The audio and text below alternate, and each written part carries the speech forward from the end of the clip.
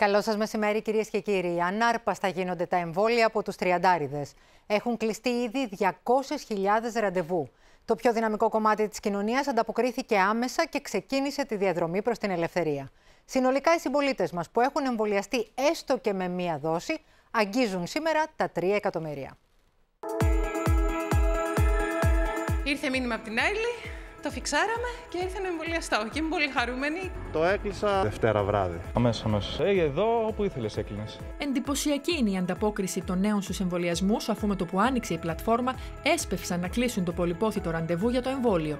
200.000 ραντεβού κλείστηκαν μέσα σε μία ημέρα. Αυτό το οποίο μας ικανοποιεί είναι ότι βλέπουμε αυτό το δυναμικό κομμάτι της κοινωνίας μας, μιας γενιάς που είναι μακράν η πιο μορφωμένη γενιά της χώρας, να ανταποκρίνεται και με ενθουσιασμό θα έλεγα εγώ. Όσο πιο πολύ το κάνουμε τόσο καλύτερο. Κυβέρνηση και ειδικοί υπογραμμίζουν ότι ο εμβολιασμός είναι καθοριστικής σημασίας για την επιστροφή στην κανονικότητα. Σημειώνουν δε ότι το 95% των ανθρώπων που βρίσκονται σε μεθ και αυτών που χάνουν τη ζωή τους δεν έχει εμβολιαστεί. Ακούμε τους γιατρούς που βρίσκονται στην πρώτη γραμμή και εμβολιαζόμαστε, αναφέρει ο Κυριάκος Μητσοτάκης σε ανάρτησή του στο Twitter. Είναι 11 το βράδυ εδώ και είμαστε ακόμα στα μισά της εφημερίας. Έχουν διασωληνωθεί ήδη τρεις άνθρωποι. Υπάρχουν άλλοι τόσοι σε κρίσιμη κατάσταση που ίσως διασωληνωθούν μέχρι να ξημερώσει. Είναι όλοι τους άνθρωποι που δεν θα έπρεπε να είναι εδώ. Μπορούσαν να μην είναι εδώ. Κάντε το εμβόλιο. Βοηθήστε αυτούς που αγαπάτε να κάνουν και αυτοί το εμβόλιο. Εδώ όλοι μας κάνουμε ό,τι περνά από το χέρι μας. Αλλά το να μην φτάσετε ποτέ εδώ είναι στο δικό σας χέρι. Την πρώτη δόση του εμβολίου της AstraZeneca έκανε και ο γραμματέας του κινήματος Αλλαγής που ανήκει στην ομάδα 3039. Μάλιστα, ενθουσιασμένος ο Μανώλης Χριστοδουλάκης μοιράστηκε το στιγμιότυπο στα μέσα κοινωνικής δικτύωσης. Τώρα, τα SMS, κυρίες και κύριοι, φαίνεται πως οδεύουν προς κατάργηση. Η Κατερίνα Παπακοστοπούλου έχει όλες τις τελευταίες πληροφορίες. Κατερίνα. Καλησπέρα σας. Όπως φαίνεται, Δευτέρα του Πάσχα ανοίγει εστίαση, Δευτέρα του Πάσχα καταργείται και το SMS. Ένα θέμα που μας είχε απασχολήσει εδώ και πάρα πολύ καιρό. Υπήρχε μια αρχική σκέψη, μήπως βάσει της επιδημιολογικής εικόνας της χώρας χρειαστεί να καταργηθεί το SMS στις 15 που θα ανοίξει ο τουρισμός και οι διαπεριφερειακές.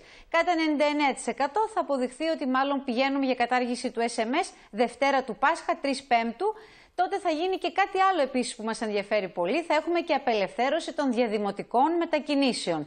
Λογικά και αυτές τις δύο ανακοινώσεις θα τις κάνει ο κύριος Νίκος Χαρδαλιάς, ο οποίος σήμερα εκτάκτος όχι για να ανακοινώσει κάποια νέα μέτρα, εκτάκτως λόγω του ότι δεν θα γίνει η προγραμματισμένη ενημέρωση της Παρασκευής. Θα είναι σήμερα Τετάρτη στο Υπουργείο Υγείας με τον Υπουργό Υγείας, εκτάκτως και η κυρία Παπαευαγγέλου και ο κύριος Μαγιορκίνης, στο γκρουπ δηλαδή της Παρασκευής, μεταφέρεται Τετάρτη λόγω αργιών. Τώρα, κατά τα άλλα, έχουμε μια πολύ καλή και αισιόδοξη εικόνα, όπως μου έρχεται από τους επιδημιολόγους της Υποεπιτροπής των Λοιμοξιολόγων που συνεδρίασαν στις 12.30. Είδαν αναλυτικά τον επιδημιολογικό χάρτη. Φαίνεται μια βελτιωμένη εικόνα της χώρας σε όλη την περιφέρεια ε, με πτώση των κρουσμάτων. Ε, φυσικά πάντα θα υπάρχουν και κάποιες μικροεξαιρέσεις, αλλά λέμε τη συνολική εικόνα. Και φαίνεται κάτι πολύ καλό που το περιμέναμε όλοι και το ευχόμασταν, αποσυμπίεση των εισαγωγών και των μονάδων εντατικής θεραπείας, που αυτό είναι πάρα πολύ καλό για τους πολίτες, είναι πάρα πολύ καλό και για το ιατρονοσηλευτικό προσωπικό, που πραγματικά έχει δώσει ό,τι καλύτερο μπορούσε όλο αυτό το διάστημα της πανδημίας. Αυτά κατά τα άλλα είμαστε εν αναμονή των σημερινών ανακοινώσεων στις 6 που φαίνεται ότι θα έχει μεγάλο ενδιαφέρον για τους πολίτες. Και είχες καλά νέα να μας πεις Κατερίνα σήμερα μετά από πάρα πολύ καιρό. Σε ευχαριστώ πάρα πολύ.